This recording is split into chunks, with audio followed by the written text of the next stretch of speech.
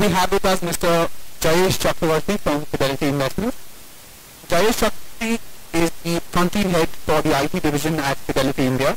He is responsible for executing IT engagements for Fidelity globally as well as leadership development. I was told by uh, your folks that uh, you would like to know a little bit about the financial segment, the financial markets, Yes. uh, and things related to that. So I'm happy to sort of take you through a one-on-one on uh, the financial segment. I myself am new to this industry, being here for the last five and a half, six years.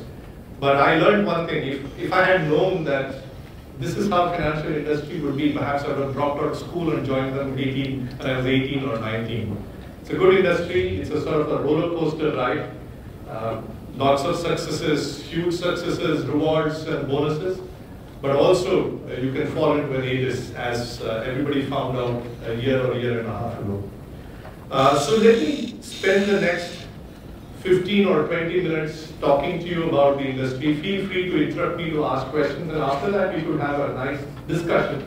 I have a flight to catch, so we'll have a hard stop at 6:45 if you don't mind. But I'd be happy to give you, share with you my number and email, and you could always be uh, in touch with me should you have any further communications. So, uh, how many from financial services industry?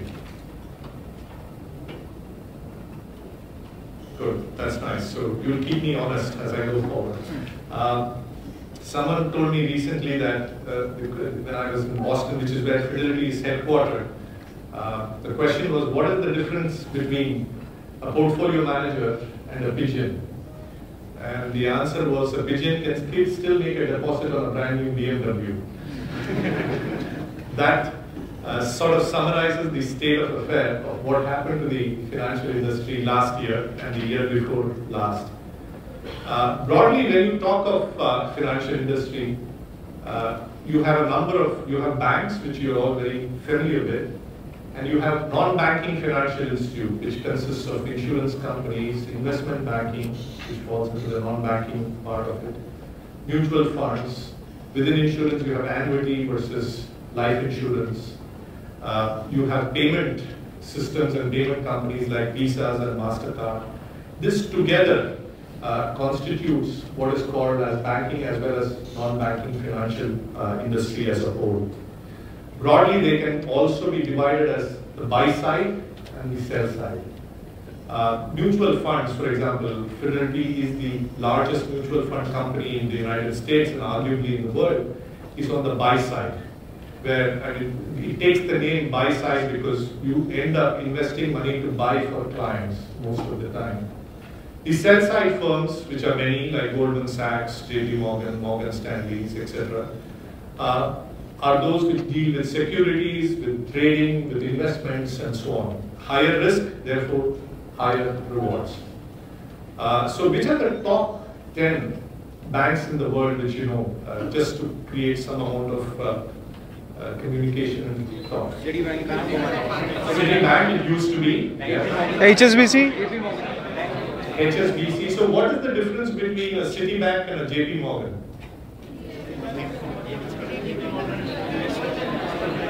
Uh, Great enthusiasm. One of you would stand up and answer it, go ahead. Citibank is a commercial bank and engaged in commercial activities other than investment. JP Morgan is a com- I mean, investment bank, doesn't deal with day-to-day. Right, right. People refer retail. Uh, Citibank is a retail bank. It started as a retail bank, and uh, that's a very good start. Uh, we would look at some of the acts and uh, regulations which were which came into being and which got repealed, called the Glass-Steagall Act and so on, which said in the early days that if you are a retail bank, you shall remain only a retail bank. You won't take money and do investment banking.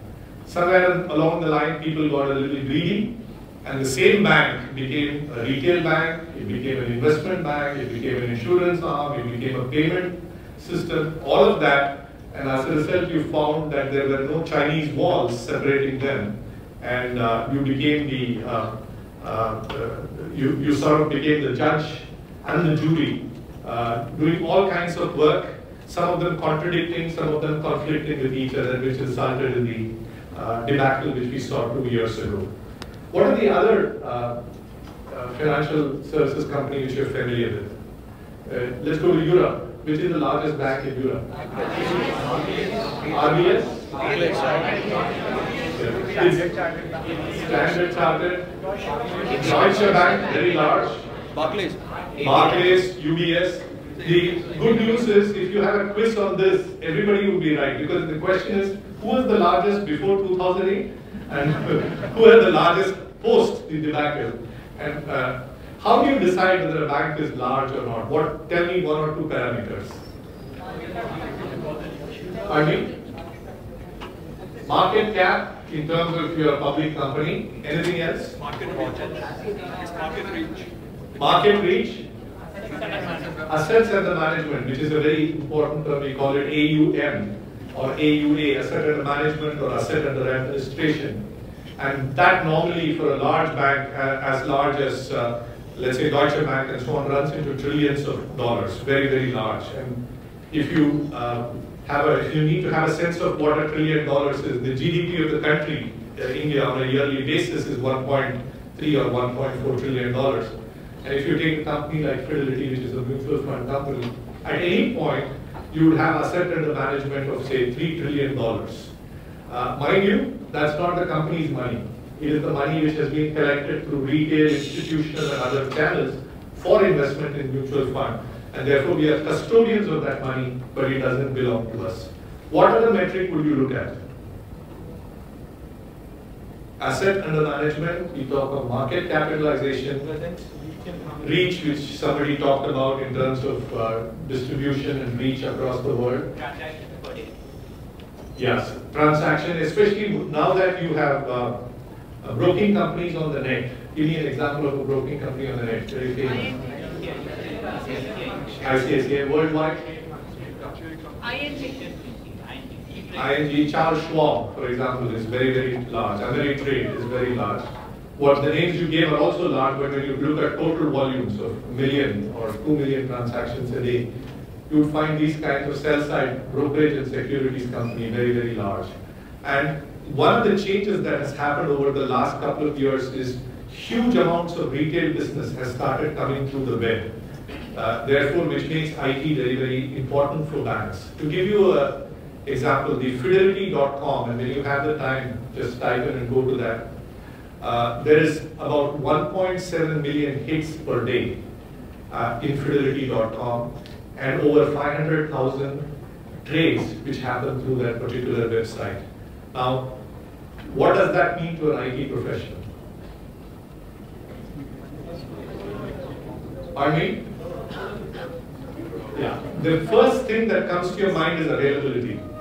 So it's like a bakery. If the bakery is shut down because of uh, a communal riot or a bun, the bread becomes stale and it can never be used again. The same thing happens in banking in mutual fund that you can't afford to have your website down even for a couple of seconds because every second it is down, every second its response time is bad. You can quantify the loss for the organization because somebody is coming there feeling dissatisfied and going elsewhere or delaying or postponing their investment decision. So net banking and uh, rich internet interfaces have made uh, internet a very, very important channel and because of that there is a great deal of what we call disintermediation. Meaning that in the past you would do your financial investment through middlemen you would have registered investment advisors, you would have brokers, you would have agents and so on, commission agents. Today, you disintermediate. You come directly to the company and make that investment. And therefore, you save on time, you save on the middleman commission, and therefore it becomes more uh, efficient. Any questions so far? Any thoughts or questions? Good. Then uh, broadly, if you look at the market segment uh, for financial services, we classify it in a somewhat funny way. We have the ultra high net worth individuals who form the top of the pyramid. Uh, below that, we have the high net worth individuals or community. Then we have mass affluent. It's very interesting that the definition of a mass affluent is a person who has a million dollars or about four and a half crores. I thought it was very funny when I first form that definition. Below that, you have low income, and then you have the microfinance, which is the uh, at the bottom of the pyramid.